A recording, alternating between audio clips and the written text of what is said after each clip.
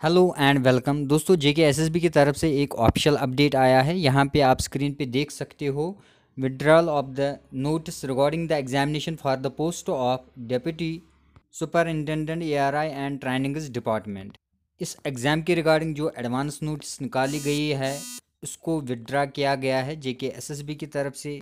तो ये notice official site पर अवेलेबल है। ऑफिशियल साइट पर विज़िट करके आप ये पूरी तरह से डाउनलोड कर सकते हो इस नोट्स को।